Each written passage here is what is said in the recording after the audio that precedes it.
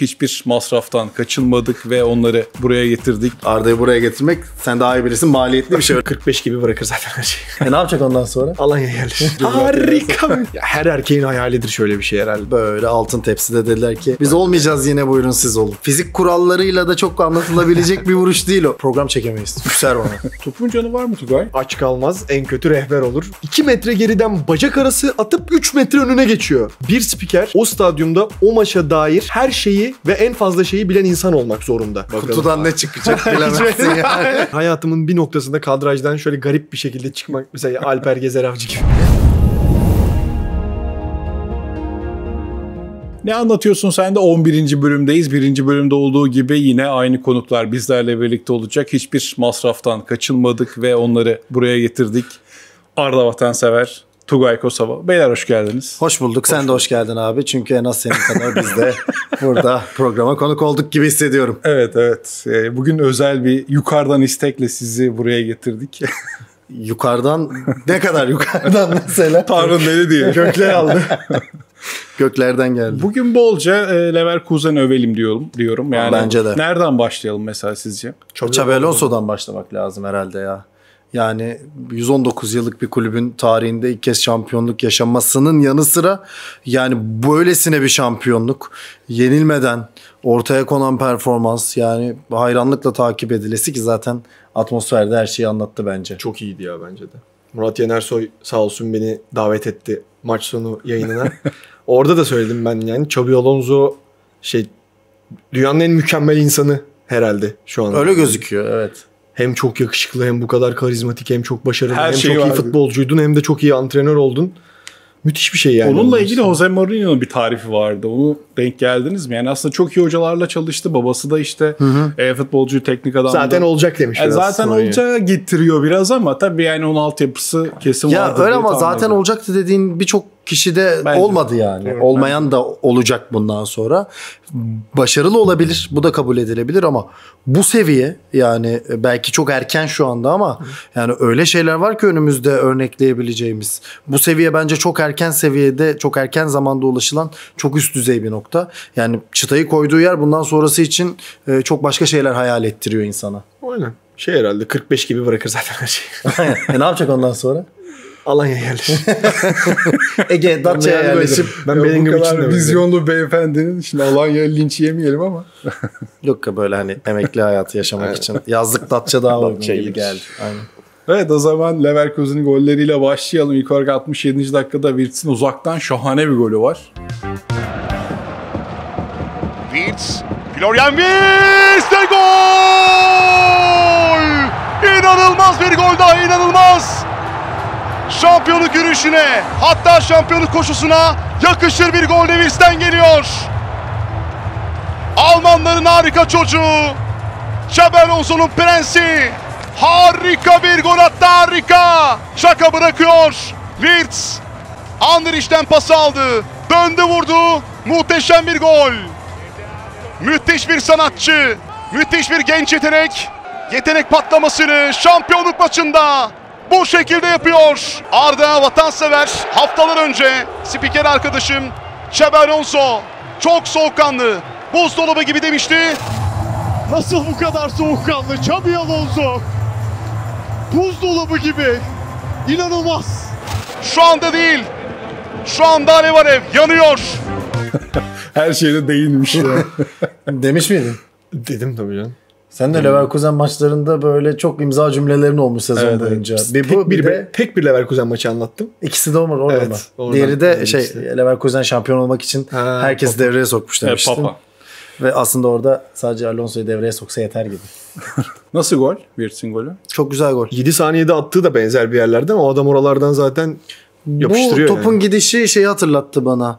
Ee, Snyder Galatasaray'da oynarken Onur'a frikikten bir gol atmıştı. Top böyle dönerek gitmişti. Ee, zannediyorum son sezonunun son maçıydı yanlış hatırlamıyorsam. Snyder geliyor. Snyder vurdu muhteşem bir gol.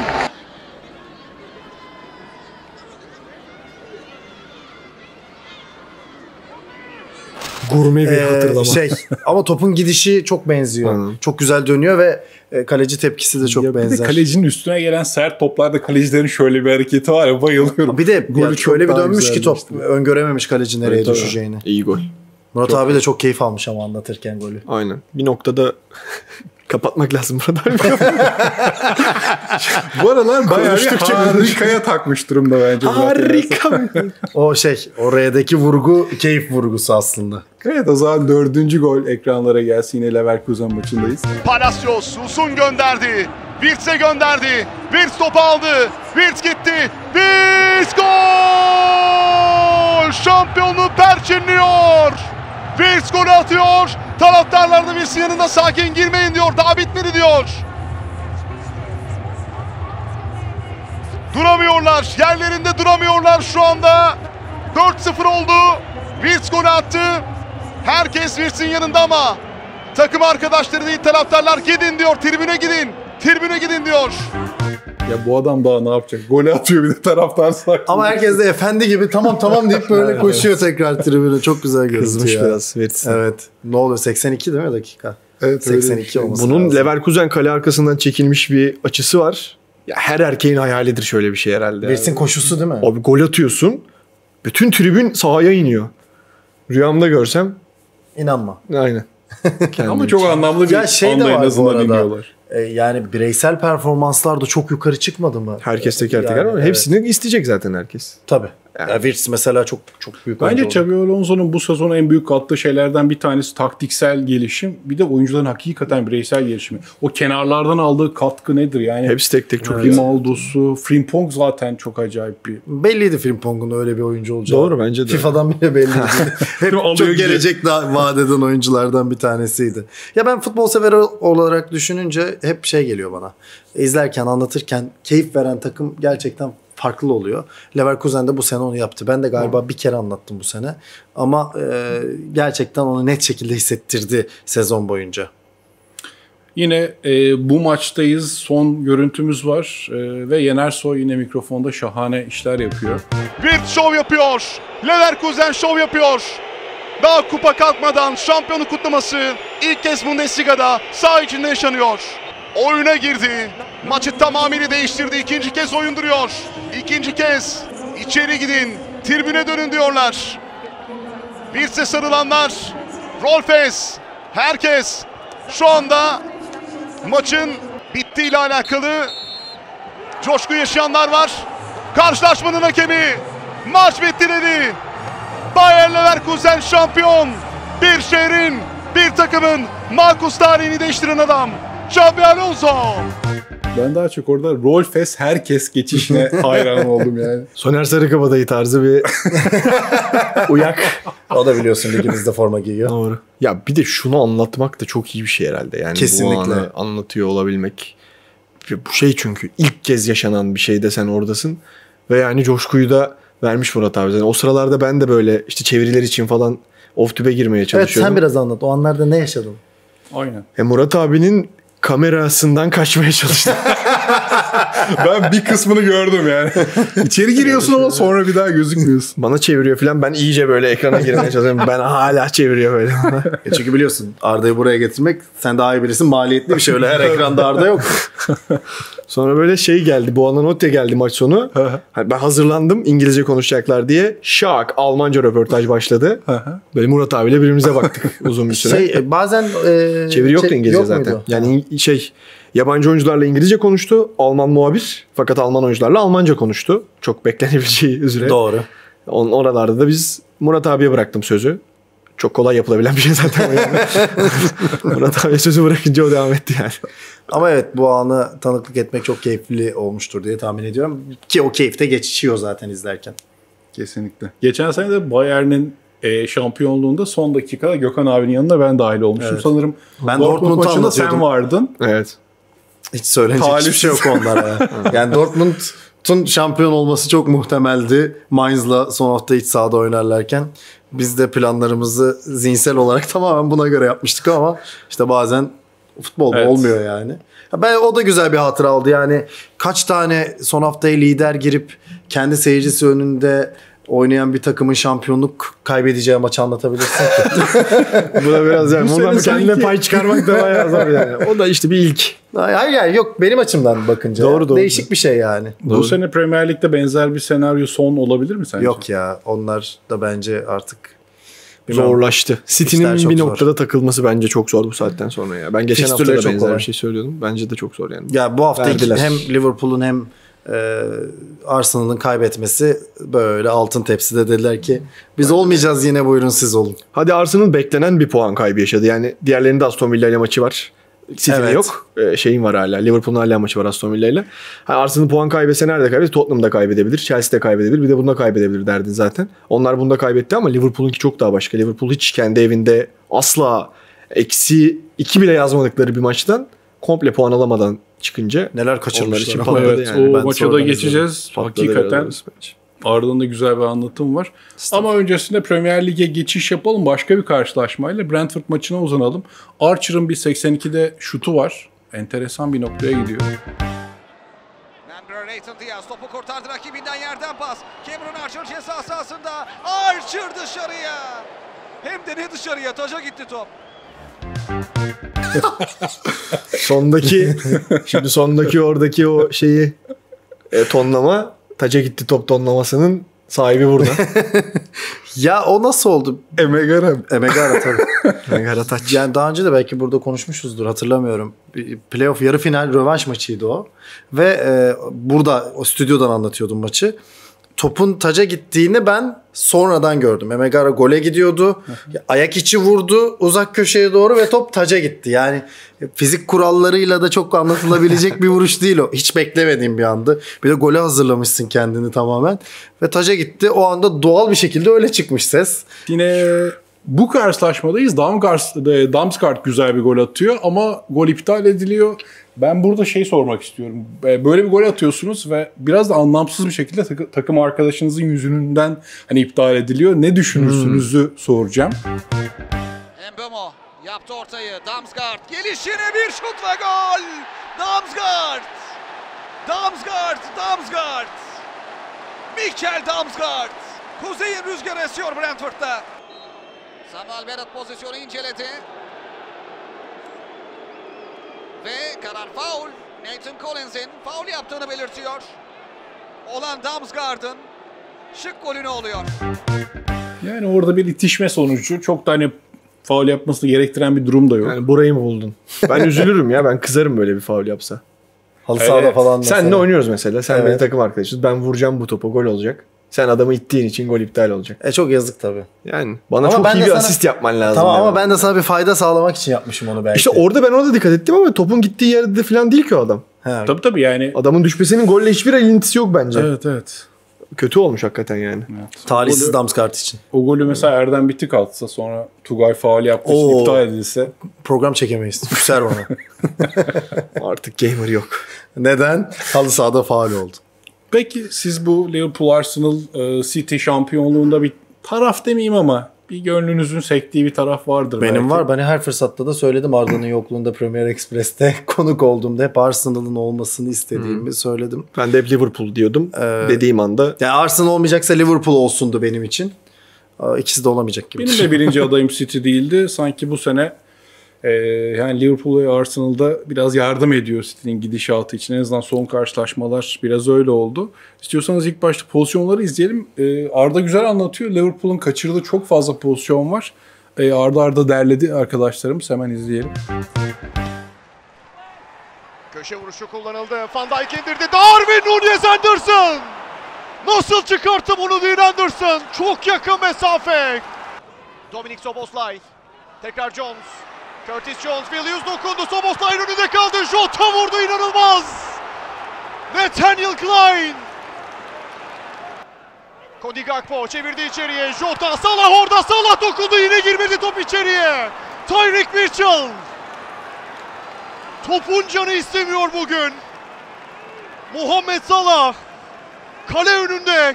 Tyreek Mitchell bu hamleyi yaptı. Topun canı var mı Tugay? Var bence ya. Bu Var net örnek.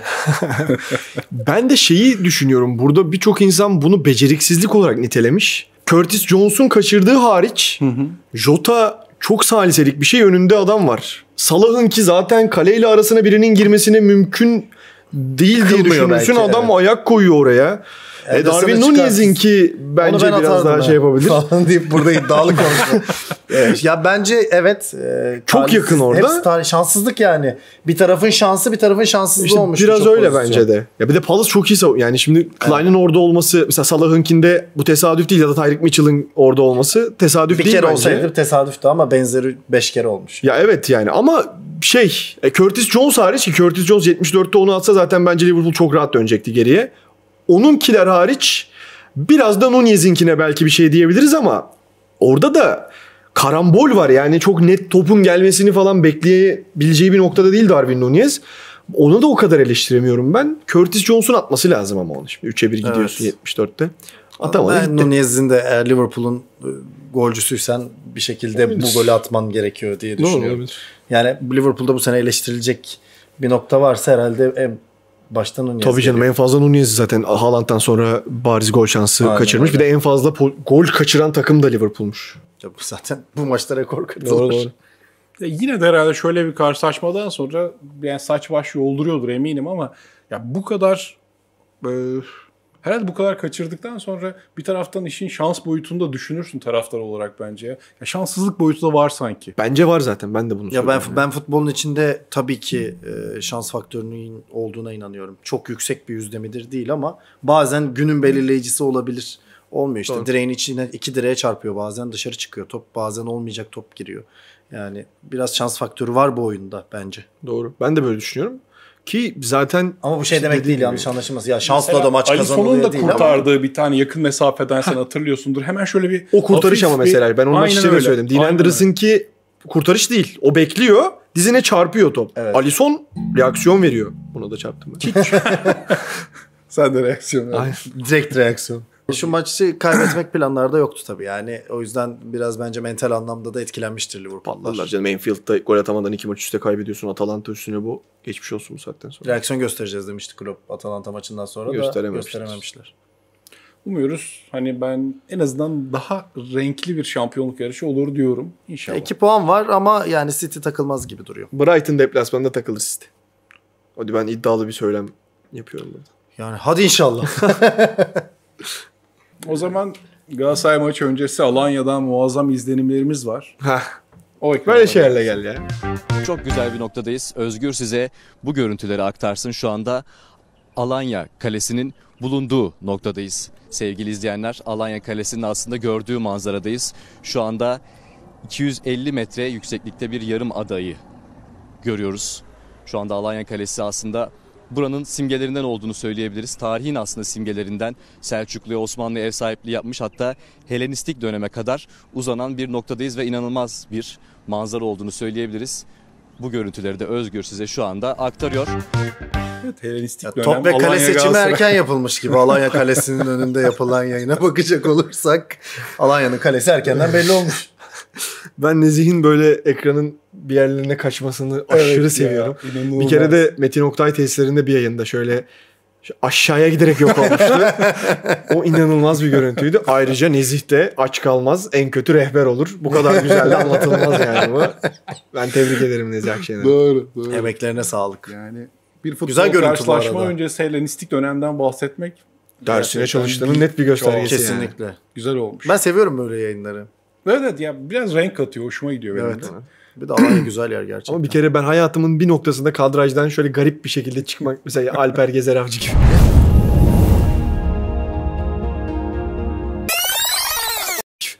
ya da yani şöyle ha aşağıya ineceksin ya yukarı bir şey yapmak zorundasın. Siz bu görüntülerle baş başa bırakalım deyip deyip çekilip böyle. Ya orada hani şöyle kameranın pan yapması falan okey de e, muhabir kaçınca daha enteresan oldu. Süper Lig'den devam edelim. Süper Lig'de Ali Ferahbot bir ufak dil sürçmesi yaşıyor. Edin Dzeko. Fenerbahçe'nin 20 gole ulaşan yabancılar futbolcu. Arasına ismini yazdırıyor. Edin Dzeko. Siz de başlayıp bitiremediğiniz anlar var mı? Oluyor canım bazen ya, cümleye başlıyorum. Futboldan bahsediyorum. Ee, tabii ki. Ee, bazen cümleye başlıyorum ben de merak ediyorum cümleyi kurarken nerede biteceğini. Yolda o kendine bir yol çiziyor cümle ve bazen bitiyor bazen başka bir şey geliyor. Benim var bir tane şey diyorum. Arka tarafta kendini unutmuşturdu. Unut, unutmuştur diyorum. Sonra duruyorum. Arka tarafta kendini unutmuşturdu diyorum yani. Ya gene burada sağda kendini unutmuştur, unutmuşturdu. Ya bazen şey oluyor mu sana da? Ya bazen mesela bir maç hiç dilin sürçmeden 90 dakika ya da 100 dakika neyse bitiyor. Ama bazı maçta da 10 kere oluyor. Yok, ben de her maçta minimum minimum bir kez ortalama üç kez filan bu tarz bir şey yaşıyorum Böyle ben. dıp, dıp. Evet evet oluyor oluyor yani. Ama bu var zaten ya. Kesinlikle tabii ki ya var. insan Yani iki saat boyunca 7 milyon kelime söylediğin için oralarda zaten ağzının karışması falan çok doğal. en İyi istemediğim zaman. ama şey yani aksiyon anında olmamasını da Aynen tercih öyle. ederim yani. Ya çünkü iyi bir anı rezil etmek en kötü şey Evet. yapılabilecek. Benim Yani o iyi anı rezil etmemen gerekiyor yani. Bonono. Evet, doğru. Seninki de zirvelerden. Haklısın. Bir şey diyemeyeceğim. Yavaş Süper Lig'den devam edelim. E, Ali Sov'un güzel bir golü var ama tabii golün yüzdesini yüzde kaç Ali Sov'un onu göreceğiz. Christian Basagok'la çıkacak Ankara gücü. Basagok geçti rakibine Enkul'u yakalamaya çalışıyor onu. Christian Basagok çok hızlı. Girdi ceza sahasına verdi pasını Alisov. Alisov çekti soluna. Alisov 1-1. Ankara gücü beraberliği yakaladı. Golün %90'ı Christian Basagok'un. Bu da çok karizmatik bir şey Sakatlandı değil sonra. mi? Golden sonra Ve gol iptal sakatlan. oldu. Yani Çok- talihsiz. çok Bu üzücü. arada çok güzel eşlik etmişsin. Teşekkür ederim abi, çok. Ya bence de çok Alisov'un ayağının yarısı yani sadece parmakları topun önünde olduğu için gitti. Evet. Bu da teknolojinin cilvesi artık. Christian Basagok'a da yazık oldu ya. Çok iyi gidiyor ama yani Tren gibi abi. İnanılmaz. İnanılmaz, bir şey. inanılmaz gitmiş gerçekten. Gerçekten acayip yani. Ve Arda Kızıldağ 2 metre geriden bacak arası atıp 3 metre önüne geçiyor. Çok zor bir şey yani. Evet. Peki spikerlerde bu yüzde verme işini ilk kim başlattı abi? Yüzde 90, Ya, 99, o Ali abinin 55. imzası o 99. Evet, Ya doğru. öncesinde de vardı. Yüzde yüzlük gol pozisyonu vardı. Doğru. Yüzde yüzlük bir fırsat evet. Ya bu yüzde ya. işini kim başlattı? Ben bunu merak ediyorum. Bilmiyorum Ben ama bilmiyorum. Dünyanın bilmiyorum. her yerinden önce gol beklentisini ortaya koymuş olmuşuz biz. Evet aynen öyle. anlatıcı yani olarak. şey belki gerçek sayılarla değil ama bir şekilde ortaya Doğru. konmuş. Çok net mesela kullanıyorum ben sayı yüzde vermek yerine ama burada gerçekten golün yüzde doksan yüzde doksan biri Basagok'ta gibi. 91. Şurada Arda ile bizim yayın öncesinde konuştuğumuz maç notları vardı. Derek Ray e, ve e, Tidesley'nin maç notları vardı. Onunla ilgili bir konuşmak ister misin? Ekrana geliyor bu sırada. Ama onun notları da çok enteresan. Onun notların arasında herhangi bir şey bulabilmek bence çok zor ya. Ben şöyle inan olduğuna inanıyorum. Ee, mesela bazen işte ne bileyim Erdem de çok karışık yazıyor bana göre.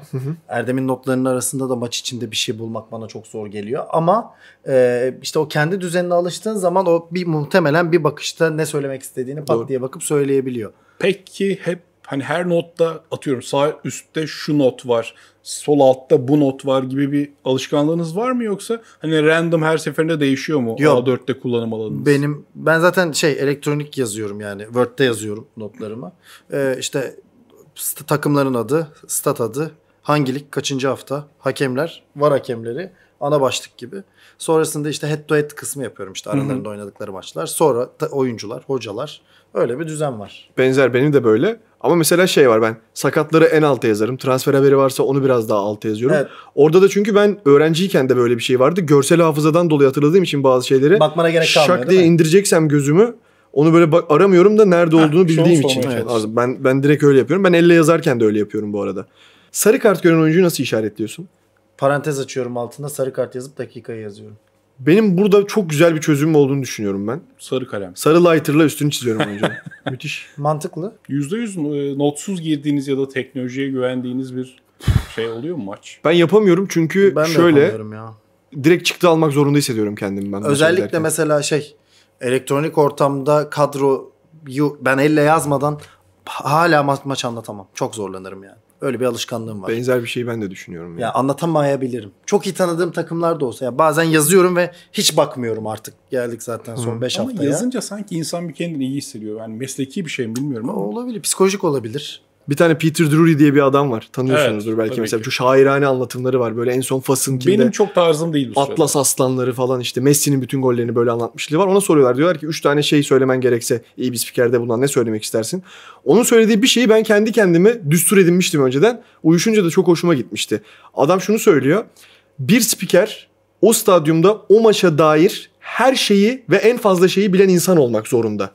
Yani bunu o bilmen imkansız. Ama şunu söylüyor. Diyor ki sahadaki orta saha oyuncusu birdenbire kusmaya başlarsa onun maç öncesinde kendini iyi hissetmediğini bilmen gerekiyor. Bunu bilemezsin tabii ki. Ya da bir teknik direktörden daha iyi bilemezsin o anda düşüncelerini ama en azından ben de şunu düşünüyorum. Ben maçı anlatırken maçı televizyon karşısında izleyen herhangi bir insandan daha fazla bilgiye sahip olmam gerekiyor. Anında bilgi verebilmek için de teknoloji önemli önümüzde binlerce şeyin aktığı bir ekran olmak zorunda. Oradan kadroya bakarsam bu sefer ikisi arasında gitmeye çalışırken herhangi bir aksiyon kaçabilirmiş gibi geliyor Hem bana. aksiyon kaçar hem bilgi kaçar hem Evet, işte kadro o ka- yüzden- hepsi kaçabilir gibi geliyor. Hiçbir de kaçmayabilir belki Doğru bir başkasına canım, göre. yani. Ama ben de seninle aynı fikirdeyim. Evet e, Premier Lig'e uzanacağız. Son videomuz Kunya'nın güzel bir golü var. Ama daha güzeli sanırım Yener Soy'un anlatımı. Mateus Cunha. Kendi gidiyor Konya. Cunha ceza sahasında. Ama Vamidel önünde çok iyi döndü. Cunha! Harika bir gol! Mateus Cunha! Aldı başını gitti. Döndü, döndürdü. Harika bir gol attı. Rakiplerinin başı döndü. Döndü döndürdü. Harika bir gol attı. Çok güzel gol. Ben- Çok güzel gol. Çok da güzel anlatmış. Yani e, güzel betimleme güzel. Golle beraber coşku iyi veriyor ya Murat abi. Evet. Yani onun şey imrendiğim özelliklerinden bir tanesidir. Ya bir de hani Murat anlattığı zaman ya kesinlikle ne diyecek diye bir heyecanla oturuyorsun ekranın başında. Tabii çünkü Aynen. Bakalım. kutudan ne çıkacak bilemezsin yani. Sürprize açık. O zaman böyle veda edelim. Teşekkür ederiz. Ben teşekkür Haftaya ederim. görüşürüz. Bakalım haftaya Tugay benim konuğum kim olacak? Haftaya görüşmek üzere. Hoşçakalın. Hoşçakalın.